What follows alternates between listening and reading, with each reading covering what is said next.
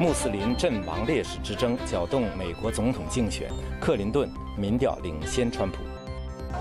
美国联邦调查局一名华人雇员承认为中国提供敏感情报。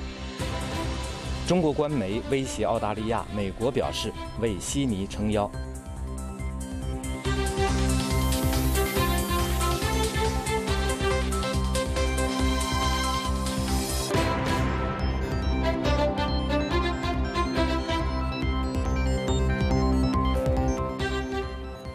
观众朋友们好，欢迎收看《美国之音》八月二号的 VOA 卫视新闻，我是许波，我们在美国首都华盛顿为您现场报道。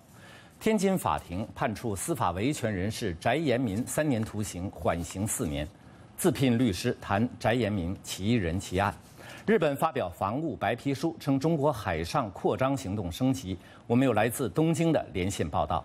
美国联邦调查局资深华裔雇员供认充当中国间谍。美国之音在纽约为您介绍详情。中国接待塔利班代表团的消息继续发酵，中国专家呢？谈北京为什么要同塔利班保持接触？好，欢迎收看美国之音的 VOA 卫视。首先，我们关注头条新闻：星期一，美国总统竞选活动被共和党总统候选人川普和西萨尔汗之间的口舌之争所占据。西萨尔汗是2004年在伊拉克自杀炸弹爆炸中阵亡的一位穆斯林美国军人的父亲。自从上周四民主党全国代表大会以来，他们之间每天都要唇枪舌剑，相互攻击。西萨尔汗以他的儿子为国捐躯为例，反击川普限制穆斯林移民美国的建议。在为期四天的民主党大会上，最令人难忘的一幕就是他手举一本美国宪法，要求川普阅读它。西萨尔汗来自巴基斯坦。星期一，他在接受美国之音乌尔都语组采访时被问到，他认为与川普的对峙是否会起到任何效果。西萨尔汗说，他对川普一旦成为美国军队总指挥的后果感到担忧。他担心美国军队是否会听从川普的命令。中国表示将从今天起，在包括南中国海在内的有争议海域行使司法权。中国最高法院发布两份涉海司法解释，强调要保卫中国的领土主权和海洋权利。这两份解释中虽然没有直接提到南中国海和东中国海等有争议海域，但明确表示，如果有人在中国管辖的领海、毗连区、专属经济区和大陆架等非法捕鱼，将被判处最高一年的有期徒刑。长期以来，菲律宾和越南渔民在他们的传统渔场捕鱼时，常常遭到中国海警船的驱离。根据中国这一新的主权宣示行为，今后这些渔民可以被中国监禁。和判刑。中国官方媒体抨击澳大利亚在南中国海问题上的立场，并扬言会对堪培拉采取报复行动。美国官员称，在安全问题上，美国和澳大利亚可以依赖彼此的帮助。好，下面请看美国之音记者李宝在华盛顿的报道。中国官方的《环球时报》中英文版七月三十号发表社评，指责澳大利亚。跟美国和日本一道钻进了干预南海问题的第一阵营，对中国极不友好。对此，中国人绝不会忘记，并一定会对澳大利亚采取报复行动。这份社评说，澳大利亚顶多是一只纸猫，如果以实际行动干预南海事务，它将是中国打击的核实对象。在南中欧海仲裁庭七月十二号公布裁决结果后，澳大利亚政府立即作出反应。总理特恩布尔第二天在记者会上明确表示，这一仲裁必须得到有关各国的遵守。澳大利亚外长毕肖普也表示，北京是否遵守这一仲裁将影响他的国际声誉。中国政府称对澳大利亚在南中国海仲裁问题上的立场相当惊讶，并对北京所说的澳大利亚领导人的错误言论提出了严正交涉。目前，澳大利亚正在采取一系列行动，试图强化它的国防能力。并得到了美国的强力支持。美国副总统拜登七月十九号在访问澳大利亚时表示，在防务方面，两国完全可以依赖彼此的支持，而且双方正在谋求更多途径强化两军合作。感谢你们支持美国，我也希望你们知道，我们永远会做你们的后盾。对此不要怀疑，连一刻也不要怀疑。澳大利亚是美国在亚太地区最坚实的盟友之一。美军目前在澳大利亚北部以轮换方式驻有一千两百五十名海军陆战队队员，并计划将兵力增加一倍。今年六月，美国海军陆战队。部队指挥官约翰·威斯勒中将在华盛顿表示，美国计划在二零一九年财政年度前向南太平洋地区派驻第二支海军陆战队远征部队，应对那里可能出现的安全挑战。我们的想法是建立更多的驻军，尤其是在南亚地区。你们知道，一年当中的一半时间，我们向达尔文轮调海军陆战队员。到了雨季，这些军人会调回美国本土。美国和澳大利亚今年晚些时候将举行部长级磋商，双方希望进一步深化两国的军事同盟关系。美国之音记者李宝，华盛顿报道。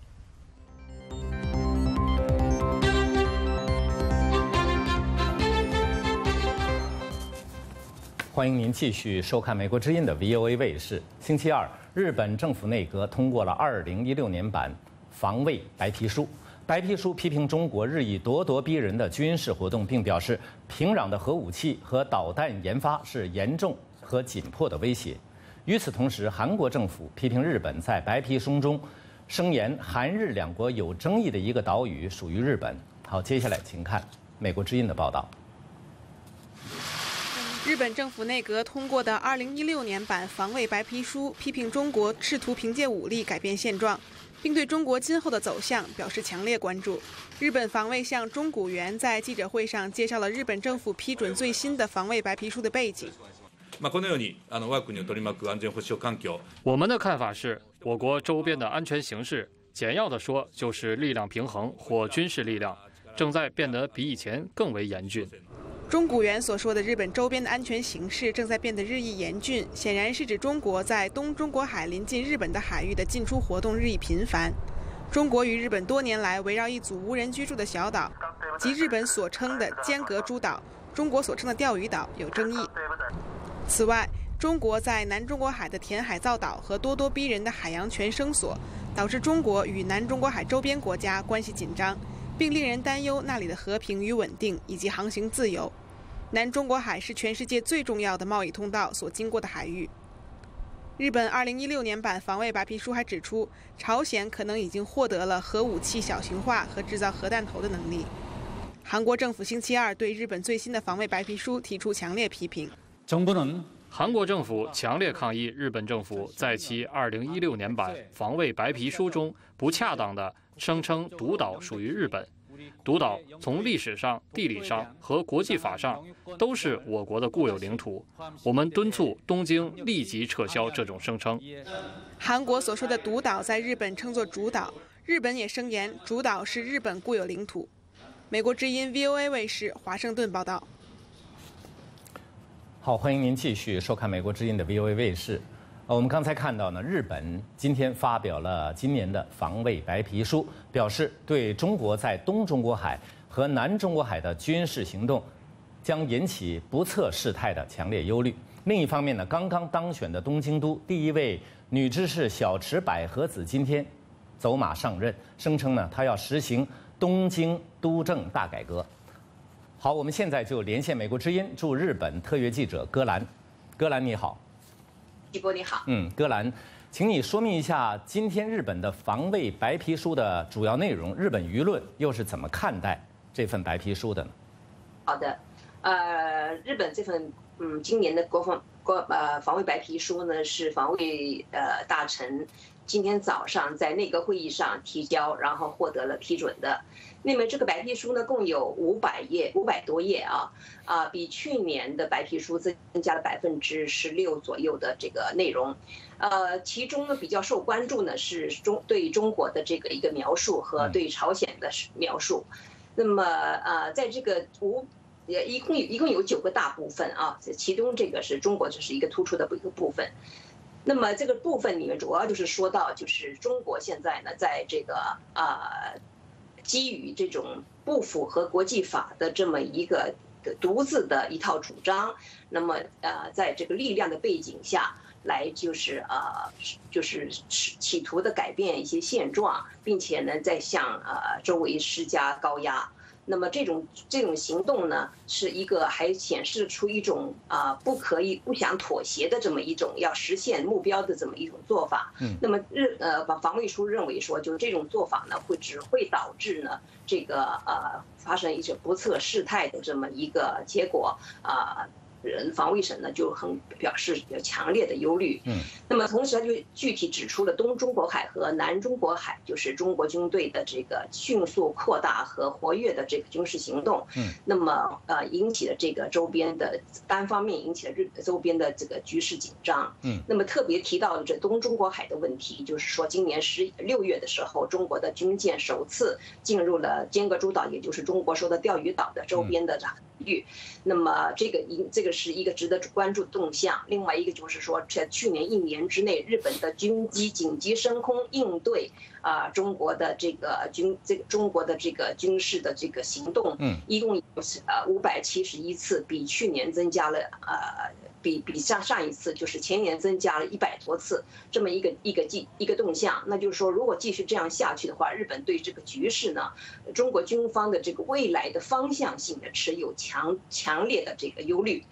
那么对于嗯，对于这个这个问题呢，今天的日本的传媒呢，就舆论呢，都主要集中在这个方面。那么有一些舆论认为说，其实。防卫省的这个呃这个白皮书呢，其实是点出了，就是说，如果按照现在这个方军军中国军方的这个方向继续下去的话，啊，那个可能啊，中日发生这个冲突冲突的这个。前景啊是很难避免的。嗯，当然，今天的这个白白皮白皮书上也谈到，就是说中国过去一年中日关系呢是有改善的，特别是在去年十一月啊，中日国防部长呢恢复了四年多的这个会谈，并且一致同意呢啊实施这个啊紧急联络机制。不过，但到现在为止呢，这并没有啊进进入一个具体的日期，所以呢，日本还是就是持有一个强大的忧虑。嗯，好的。那么今天呢？中国海军在东中国海实施了实弹演习，我们看到规模很大。那么日本对这次演习有什么反应呢？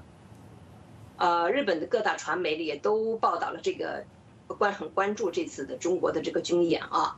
那么呃，大部分都是引用了新华社的消息。那么有些传媒就认为说，中国的这次的这个行军事行动呢？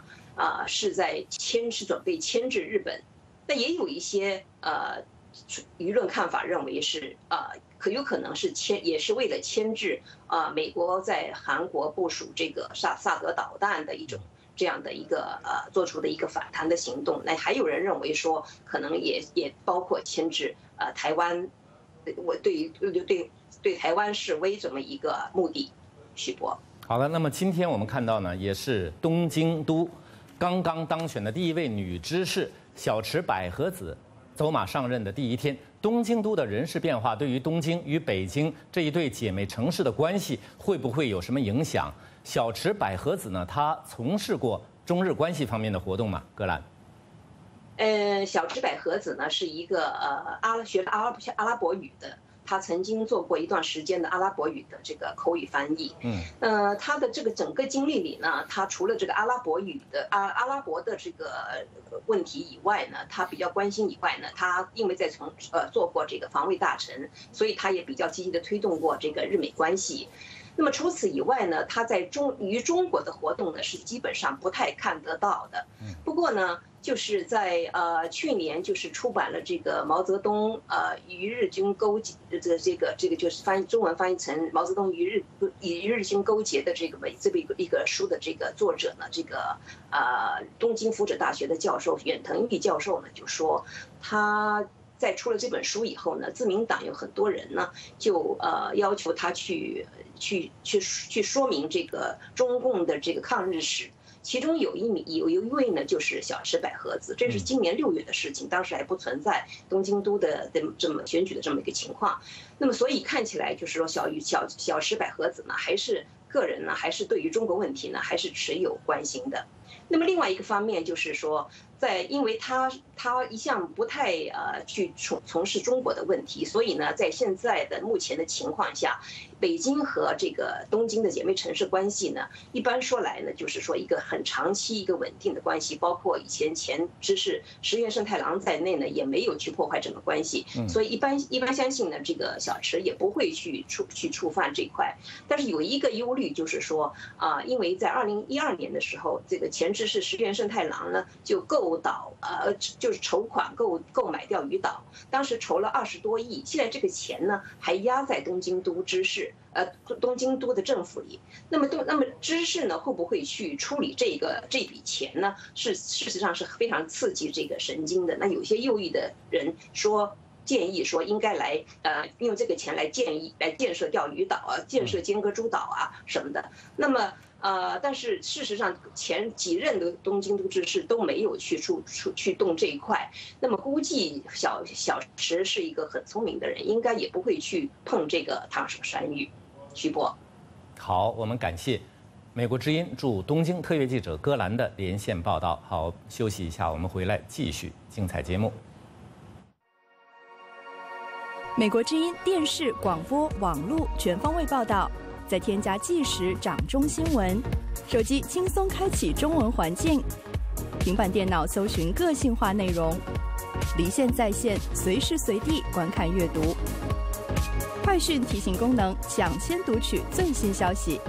您还可以将自己的视频、图片和音频与我们分享。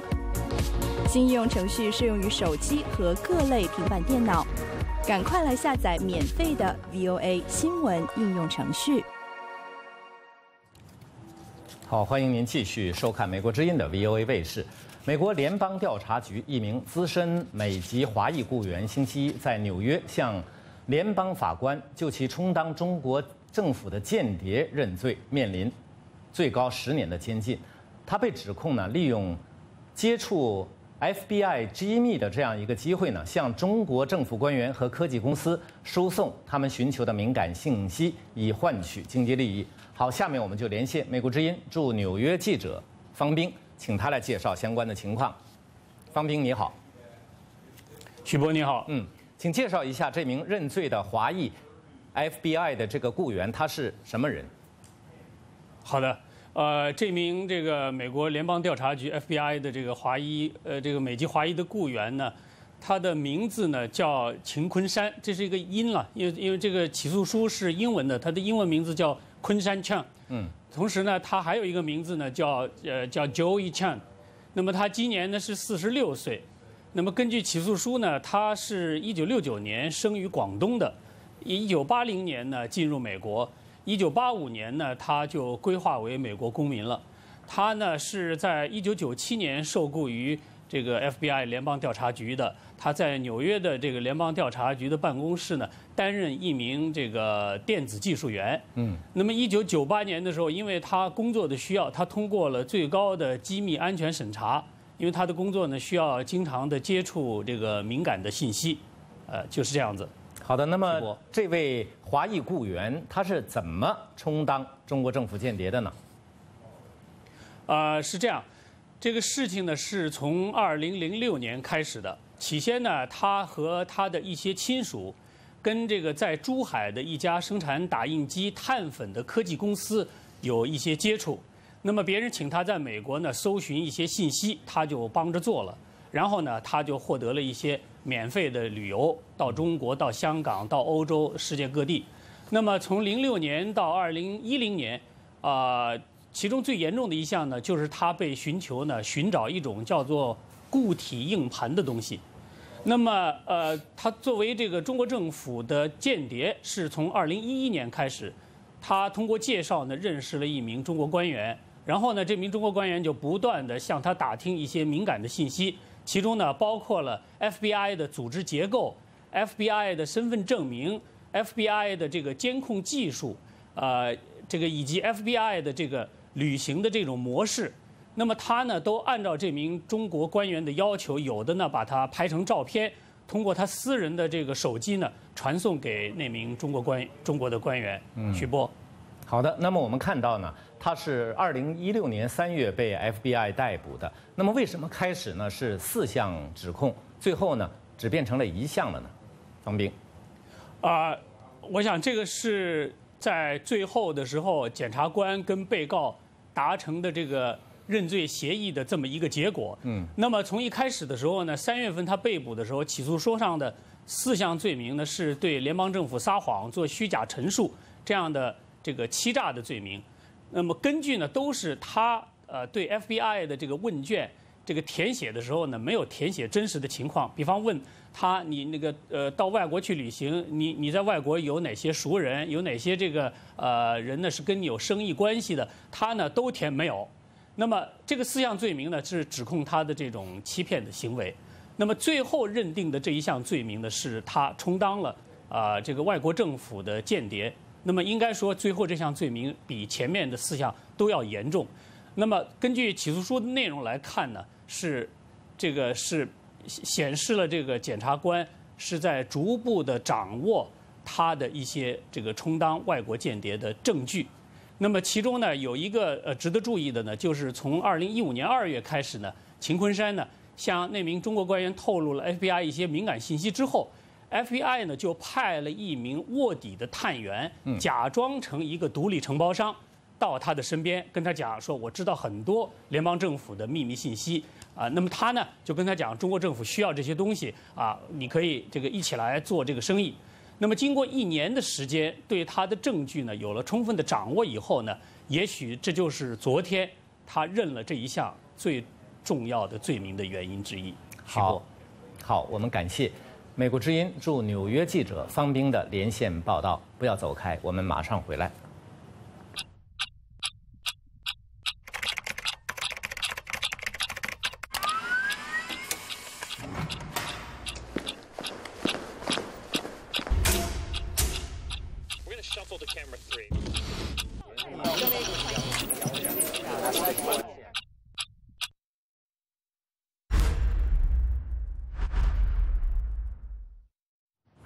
好，欢迎您继续收看美国之音的 VOA 卫视。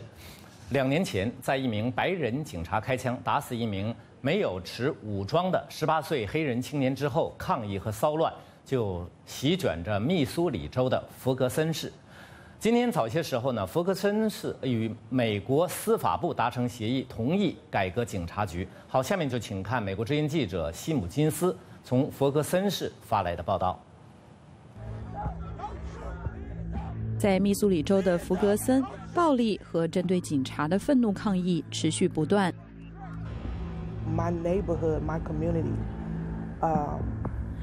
我生活了十八年的居民区和社区当时的景象，就跟伊拉克一样。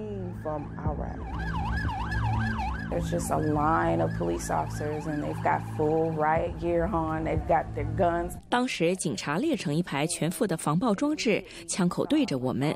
很快你就看到所有的妇女儿童走到了一边，而所有的年轻人，所有那些看上去只有十几岁的小伙子，他们挺身而立，坚守自己的位置。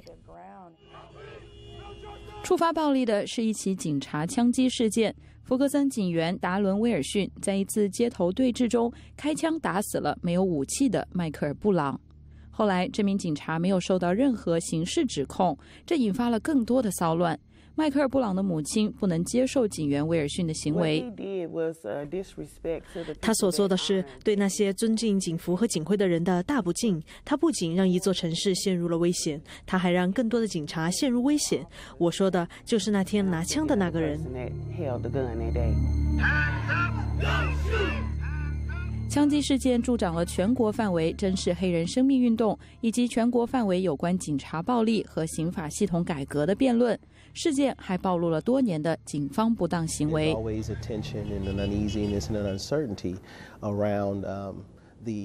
在个人与警察的互动和关系方面，总是存在紧张不安和不确定因素。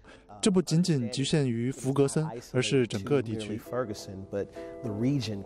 联邦当局进行的一项调查发现，以白人为主的弗格森市警察局存在系统性的以种族定性以及过当使用武力的问题。我们仍然有那种大规模的系统问题，这个系统仍然是压制性的，而不是回应性的，仍然在联邦令的约束之下。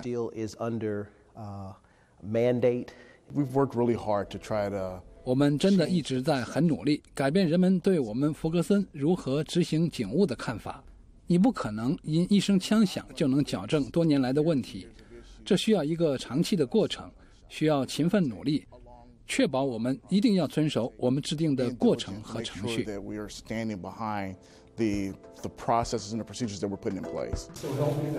警察局有了新的黑人局长，还要求对新警员进行训练。社区一些居民仍然持怀疑态度。还是同样的那些警察，他们没有被重新培训，他们不懂社区警务应该是什么样的，因为他们没有受过那种培训。艾米丽·戴维斯和弗格森合作社的其他市民成员正在帮助制定解决方案，并向市政府官员施加压力，要他们执行联邦司法部为市警察局制定的命令。市民们必须接过责任，确保那些协议得到执行。我们的方式包括抗议，包括把那些我们看到的并没有落实的那些事情曝光。美国之音西姆金斯，密苏里州弗格森报道。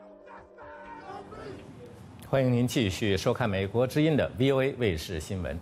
计算机自动化技术呢不断增长的威力，意味着机器人很有可能会取代人类在美国驾驶卡车。美国现在有三百五十万卡车司机，其中一些人的工作也许危在旦夕了。好，下面请看美国之音记者吉兰德的报道。巨型卡车在运输沙土和矿石，这些卡车由计算机化的机器人操控，都是自动运行。他们可以应付矿场里有限的交通量。一些专家担忧，公路上更复杂无序的情形对他们来说才是真正的挑战。计算机已经在帮助人类司机更好的刹车和导航。一些专家也表示，由于成本可能更低，机器人卡车司机终究会全面取代人类司机的工作。但是，美国卡车运输协会的首席工程师表示，要在监管法规、测试以及公众接受度上过关，机器人卡车司机的普及还需要时间。凭现在的科技水平，我们能做到无人驾驶，但我们在很长的一段时间里还不会这样做。但是，奥迪汽车以及其他一些厂商正在更复杂的环境中测试机器人司机的能力。奥迪正在美国一座大山以及大城市中做测试。美国国家公路交通安全管理局的前官员说，这些测试会帮助全自动化汽车普及时间的提前。我们距离完全无人驾驶汽车的终极愿景并不遥远。包括福特在内的汽车以及计算机企业正在开发很多针对轿车与卡车的机器人系统。这位官员表示，自动化汽车实打实的把人命托付给了机器人，但鉴于百分之九十四的交通事故都是因为驾驶员的人为错误造成的。包括疲劳驾驶、酒驾、开车看手机等等，机器人开车说不定是一件好事。圣母大学教授蒂姆·卡罗尼通过 Skype 表示，机器人司机有可能拯救数万人的生命。这还需要一段旅程，而这段旅程的终点就是交通事故和死亡数量的大规模降低。一些卡车司机对计算机马上就会取代他们的言论感到怀疑。罗西洛·拉达是一位有十六年驾龄的老司机。机器人能做的很有限。呃，我相信有些情况只有人类才能应对。巴里罗·沃特尔已经开了二十五年车了。他认为，在机器人抢走他的工作之前，很多基础建设需要跟上。嗯，没错，大概还需要二三十年吧。卡车运输是美国经济中一个重要领域，雇佣着美国人口的百分之一，所以司机、消费者以及企业都在密切地关注这项进程。美国之音吉兰德，华盛顿报道。马拉维的环境保护人士已经开始了非洲迄今为止最大规模的大象搬迁行动。非政府组织非洲公园正在把五百头大象从马来维马拉维南部的过于拥挤的野生动物保留地迁往马拉维中部的新家。好，下面请看美国之音记者马西娜的现场报道。这些大象正在获得自由，在马拉维中部的恩科塔科塔野生动物保护区重新落户。在平安到达之前，他们乘卡车从马拉维南部的利翁代野生动物保护区出发，长途奔波了四百多公里。非营利组织非洲公园发起的这项行动，目的是为这处保护区添丁进口，重新引进动物。由于偷猎，当地损失了很多动物。有关负责人士说，为保护大象，他们将架设一道电围栏。这处保护区目前动物很少，我们的设想是争取重新引进那里这里曾经有过但现在已经灭绝的动物。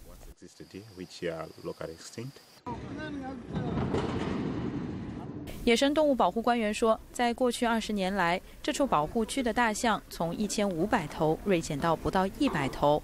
今年计划搬家的有二百五十头大象，自从七月以来，其中的一百九十头已经重新安家。除了大象之外，我们还在引进黑马羚、水羚，还有疣猪和其他动物。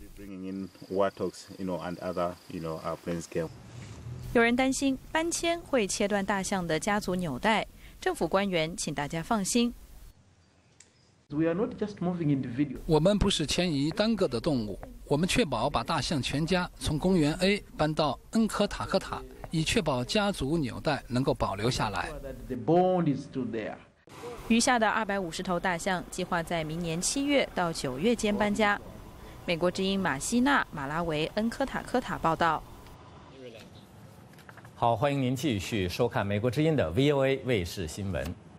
观众朋友们也许还记得，八九年六四学潮期间呢，学生们制作了一个民主女神像。新西兰籍雕塑家陈维明以六四民主女神像为蓝本和灵感，创作了一个新的民主女神像，并带着它呢从美国西岸开车到东岸，可以算是有关六四学潮以来的中国民权状况的一个移动展览。美国之音的记者在纽约与陈维明的团队相处了一天，请看我们的报道。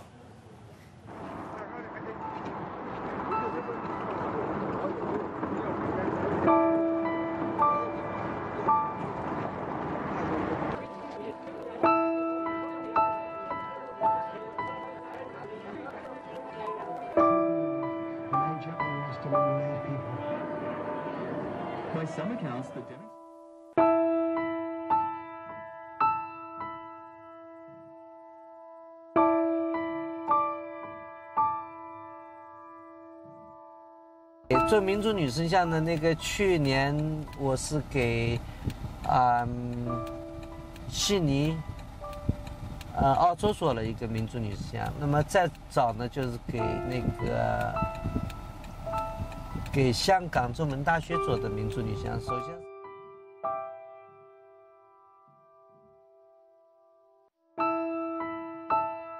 啊，我们这个民族女神像嘛，就是说在我们全体团队的帮助下。花了将近半年的时间，前前后后呃完成的，在我们五月十三号这一天正式装车，十二号正式完成。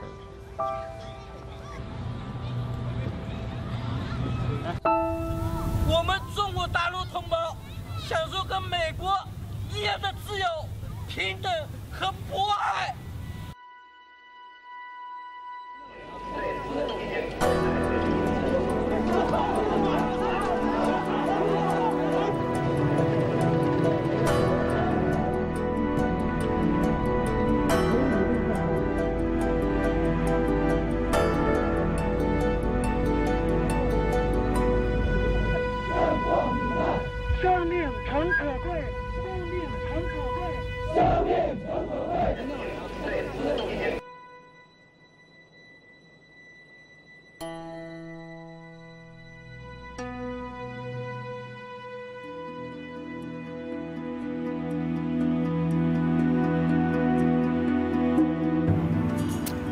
the day after the massacre, while walking through the train station with my Chinese. 大屠杀后的第二天，我和我的中国籍前夫经过那里，我亲眼看到人行道上血迹斑斑，我看到民主女神被推倒，只剩一堆石块和钢筋。And turned into plaster crumbs and chicken wire.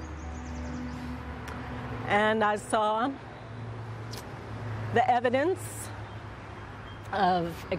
我还看到一些残忍的景象，空气中都是火药混着烧焦的肉体和头发的味道。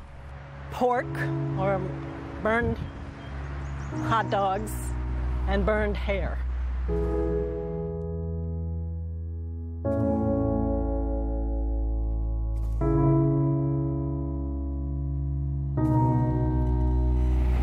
像大使馆扔鸡蛋，代表人民对中共的唾弃，因为中共向人民扔的是子弹。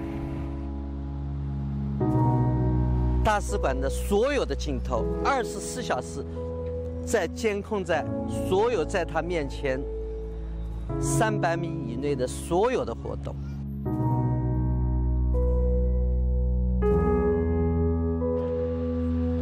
一开始我们出发时有十二个人。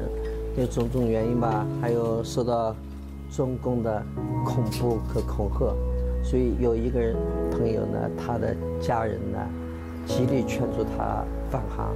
他已经到达嗯拉斯维加斯，但是呢说如果再前行的话，他们家里可能会遇到麻烦。这个房子特别优待两位女士的，我们有些人。五个人坐在啊，四个人住在房车里面，还有三个人睡在卡车里面，一直就是已经二十天了吧？就我们整个行程是二十八天。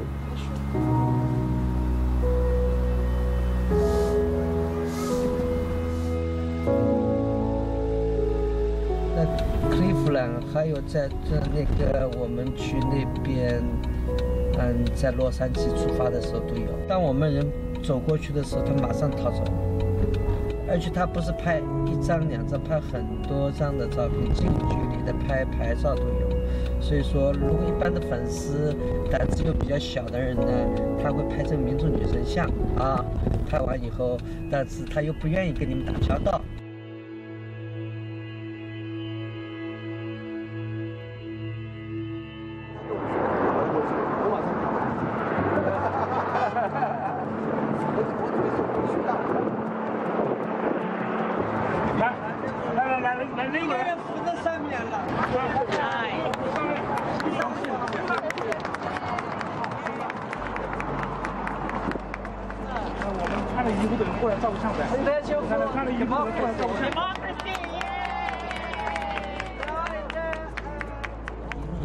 就是民众都非常的支持，然后一看到这个东西叫 Statue of Liberty，啊，所以 Freedom China，我们在那个嗯拉斯维加斯受到很多朋友的那个和那个游客的支持，他们看到这个东西都翘起大拇指。我们像那个拉斯维加斯，我们有三个地方进行。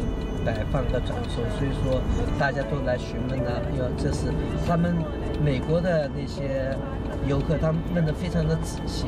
他们不是泛泛的，他们就是那种求证的这种嗯真实啊，他们要的非常仔细。比如说，他们问这个图片是什么时候拍的啊，什么地点？那么我会告诉他。这个是二十七周年发生在天安门的大屠杀事件的图片，这张是两个星期的那个南海的拆迁，殴打小孩殴打村民，殴打老人，殴打妇女，啊，这样，那么他们就知道了，这是一个延续的，嗯，历史，是一个正在进行时的一个故事，并不是一个非常遥远的事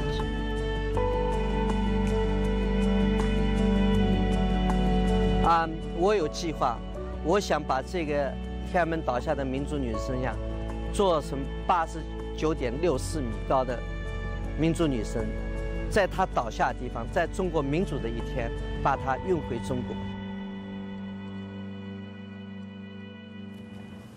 好，欢迎您继续收看美国之音的 VOA 卫视新闻。一项新的研究显示，荷兰男性与拉脱维亚女性的身高最高。而东帝汶男性与危地马拉、危地马拉，对不起，女性的这个身材呢是最矮的。好，详情请看美国之音霍克的报道。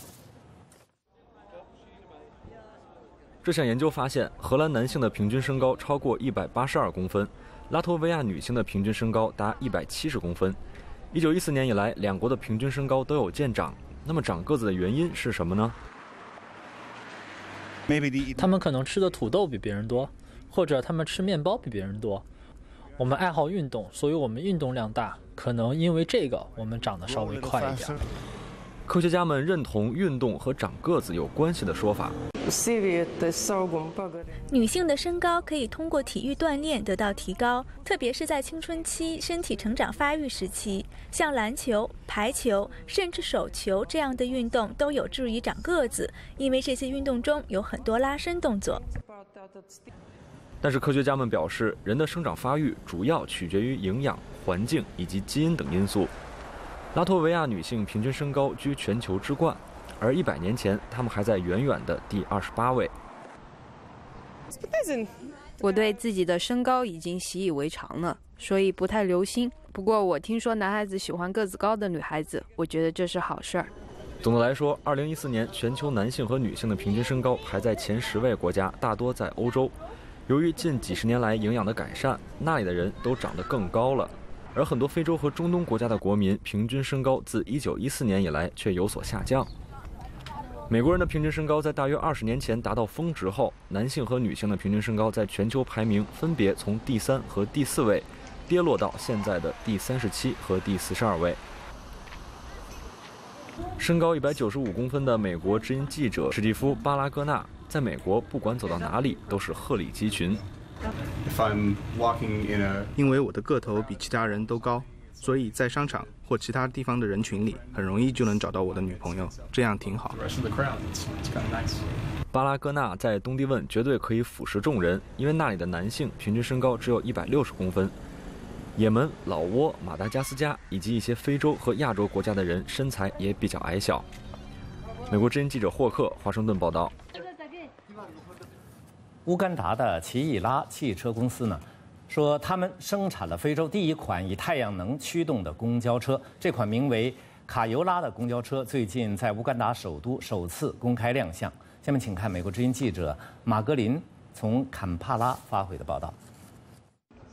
这辆公交车的品牌名称是卡尤拉，动力来源是车顶的太阳能板。这辆公交车能承载三十五名乘客。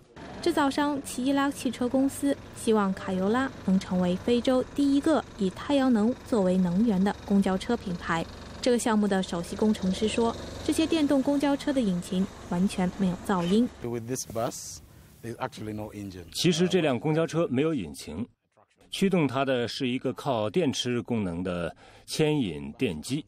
这些电池组。”与车顶的太阳能系统相连，公交车在电池充足电的情况下可以行驶八十公里，而接下来由太阳能板继续驱动，也就是说增加了延长了里程数。卡尤拉公交车可以通过太阳能或是连接电源来充电，最棒的是它不会向空气中排放有害的二氧化碳。这个系统完全是靠绿色能源运行，污染环境的东西最终影响的是我们自己。这也就是我们开发这类产品的原因，因为未来我们要考虑的是有可持续性的绿色能源。这辆完全依靠充足可再生的太阳光为能源的公交车，还能节省油钱。The difference between this 卡尤拉公交车，也就是太阳能公交车和其他公交车的区别在于，那些是燃油车，而这部车靠电池驱动。不过你在行驶加速的时候，可以感觉到它和其他公交车一样有力。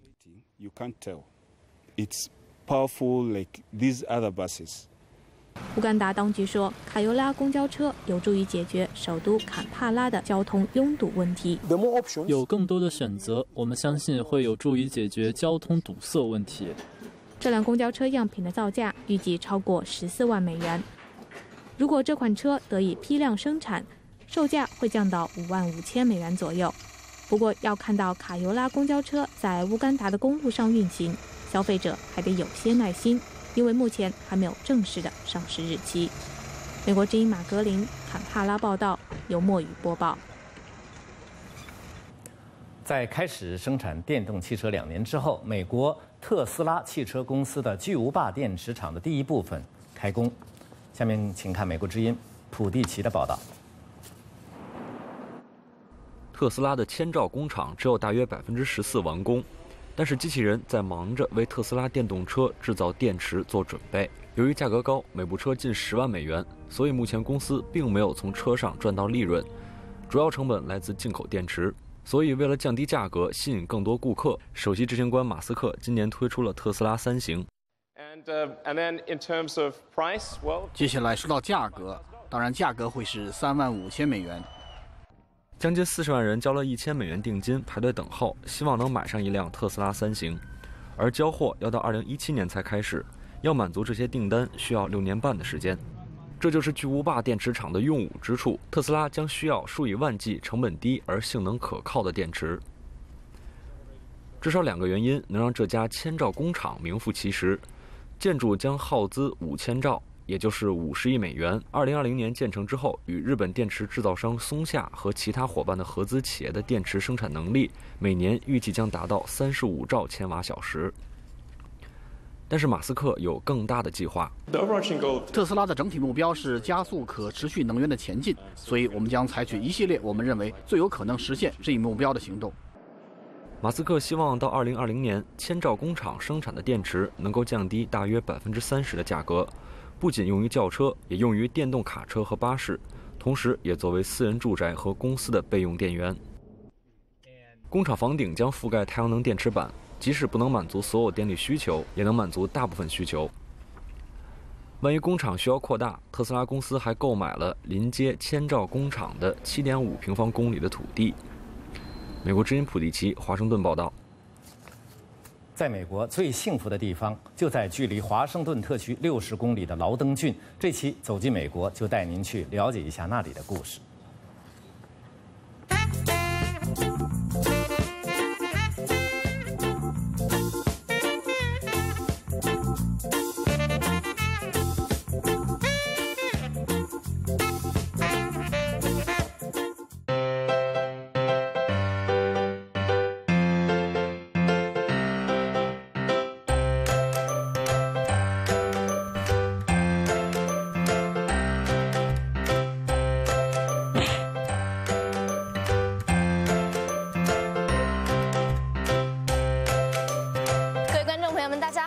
是鲍荣，今天我们来到了风景优美的劳登郡。这个郡呢，已经连续两年被评为全美最幸福的郡。现在就让我们赶快去看一看他们幸福的秘诀吧。既没有纽约的高楼大厦，也没有落基山的奇特风光，这个看似平凡的郡，却被认为是全美最幸福的地方。劳登郡位于维吉尼亚州北部，临近美国首都华盛顿特区，不仅连续六年蝉联全美家庭中位收入最高。并且在今年的全美幸福指数排名上荣登榜首。您也许会说，像劳登郡这样富足的地方，人们自然是幸福的。然而，劳登郡的居民们却告诉我们，他们的幸福并不完全源于富有。Hi, my name is Haley. 我叫海莉·扎斯梅埃德，我负责家族的葡萄酒厂。我叫布鲁斯，是农场的主管。Hello，我叫珍妮尔·扎斯梅埃德，我负责家族的酒吧生意。我是维斯莱·扎斯梅埃德，我负责啤酒厂。Hi，大家好，我叫米洛·扎斯梅埃德。My favorite part about working here，我在这里很幸福，因为这里有美丽的风景和我的家人。I love it here because 我喜欢这里的乡村生活方式。我的幸福源于和家人一起工作，养育子女。And what makes me happy is 我喜欢和其他啤酒厂的工人们打交道，也喜欢帮助四面八方的朋友。I like 我的幸福就是在我们家的农田里摘甜甜的樱桃。劳登郡西部以农场、酒庄和马场等农业经济为主。扎斯梅埃德家族从上世纪七十年代起经营农业，九十年代买下了这片占地四百多英亩的农场，主要种植土豆、番茄、桃子、苹果、草莓。在这里，您可以加入所谓社区帮扶农业计划。农场的工作人员每周会将新鲜的水果蔬菜打包好送到您家，并且每周的品种也各有不同，保证让您品尝到当季所有的食物。此外，您还可以亲自采摘，体验一下农活的乐趣。哦，啊！Pictures of the season, and you'll notice the red skin. Can you help me carry some of these? 米洛是家族里最小的成员，他每天都和父亲一起到地里干农活，挖土豆是他最大的乐趣之一。如果您觉得小米洛在这偌大的农场上形单影只，不必担心，其实他每天都可以见到许多小游客，结交不少新朋友。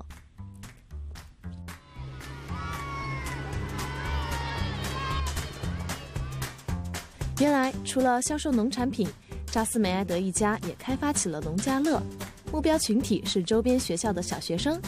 为了吸引更多的小游客，他们在农场里搭建了游乐场和迷你动物园。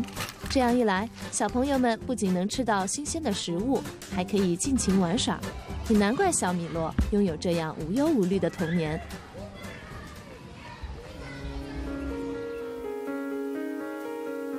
当然，不仅是小朋友。各个年龄段的人都能在这里发现乐趣。几年前，扎斯梅埃德家族陆续以家庭经营的方式开设了蓝山葡萄酒庄和尘埃乡村啤酒厂，以更好地利用农场里种植的葡萄和麦子，形成了生产、加工、销售的一体化。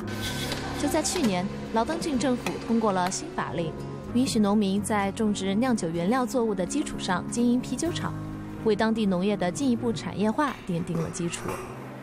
啤酒厂和酒吧也是这里的家族特产，看来他们的产品链非常的齐全。我现在手上拿的呢，就是他们的特产樱桃啤酒。嗯，尝一口，味道真是非常的甜美。除了啤酒业的新发展，劳登郡的葡萄酒业也是蒸蒸日上。二零一四年的数据显示，维吉尼亚州的葡萄产量排行全美第五，而劳登郡的葡萄产量则位居全州第二。有着“华盛顿葡萄酒之乡”的美誉。在这样一个风景优美、物产丰饶的地方，扎斯梅埃德家族三世同堂，共同经营着农庄。不论经历如何、年龄大小，每一个家族成员都为这片土地做出了贡献。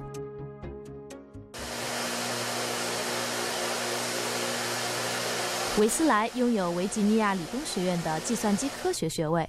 但他并没有选择留在大城市工作，而是返回了农庄。嗯，Well, I grew up here on the farm, working down at the farm where you guys have already been. 我生在这里，长在这里，我的整个家族都在这片农场生活。我也考虑过去大城市工作，但是啤酒业是一个新兴的产业，发展很迅速，同时也有很多技术难题亟待解决。我可以利用自己的计算机科学知识，对于我来说，这是一个充满机会的行业。同样在维吉尼亚理工学院毕业的海莉，目前已经开始管理家族的葡萄酒厂，并称这是她的长期职业目标。So, you know, I I tried other options. I tried the office job. 我也试过其他工作，做办公室之类，也曾经去华盛顿实习，但最后我发现这里依然是最适合我的地方。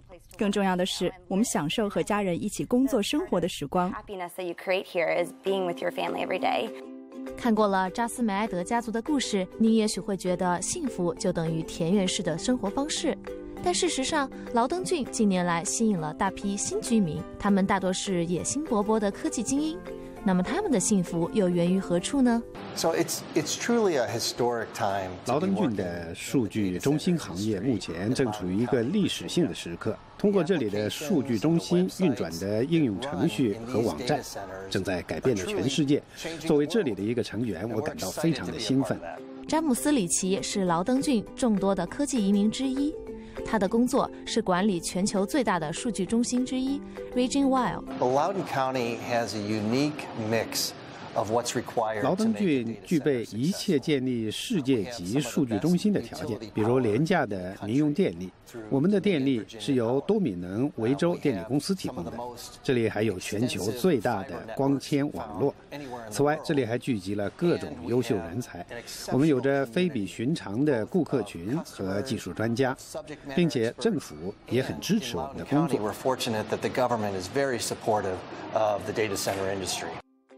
劳登郡历史上以农业著称，但自从上世纪六十年代，杜勒斯国际机场在劳登郡安家，加上其毗邻华盛顿特区的优越地理位置，吸引来了大批高科技公司。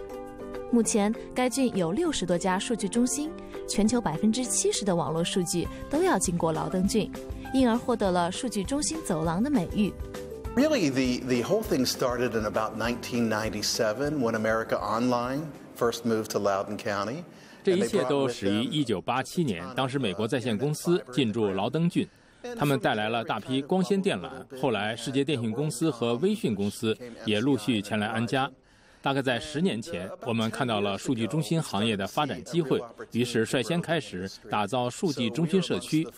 我们保证优良的商业环境和基础设施，并且保证让当地居民和新产业和谐共存。And to be able to really welcome them into our community in a way that made both the community and the industry very happy. 巴迪里泽是劳登郡政府经济开发部主任。十年前开始在这个部门工作，并见证了劳登郡经济发展最为迅速的时期。I'm responsible for helping to build up the community. To build. 我觉得我的工作是整个劳登郡最好的工作，因为我负责打造良好的社区和商业环境。为居民们提供他们想要的生活。我们帮助新企业在当地扎根，帮助他们发展。过去几年，我们成绩斐然。今年预计会有两亿美元的新投资。我常常有一种巨大的满足感和成就感，因为我们为新产业的进驻做出了一些贡献。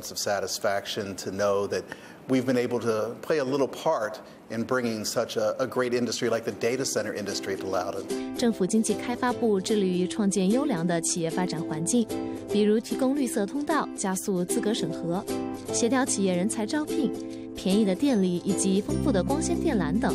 同时，新技术和源源不断的新移民的到来，推动了农业的技术化和农村旅游业的发展。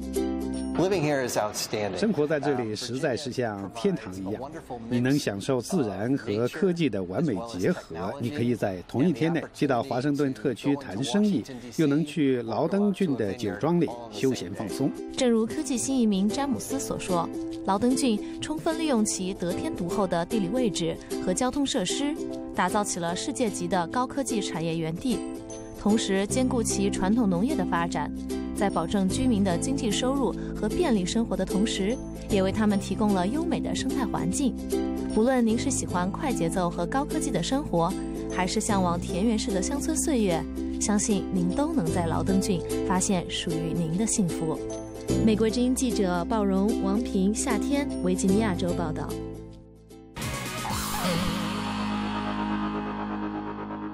大家好，欢迎来到 OMG 美语，我是白洁。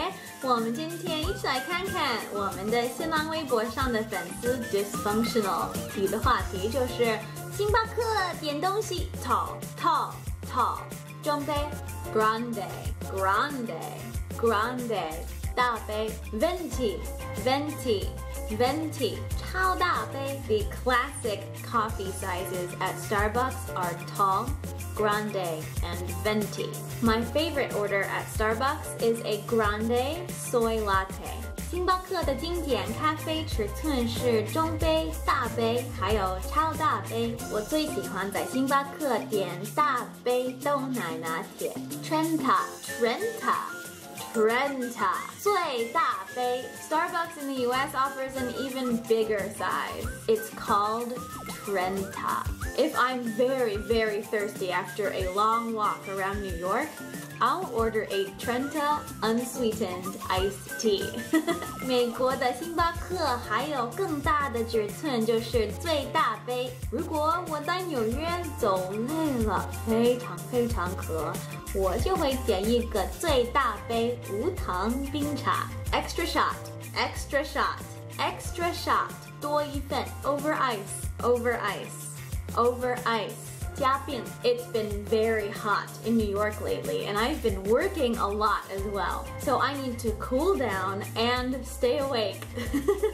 now I order my grande soy latte with an extra shot over ice. 最近纽约很热，而且我有很多工作，所以我需要冷静下来，保持清醒。现在我点我的大杯豆奶拿铁的时候会加冰。再加一份浓缩咖啡。好，请评论告诉我，What is your favorite drink at Starbucks? Especially when it's hot outside. Do you get a 星冰乐, a frappuccino? okay, bye.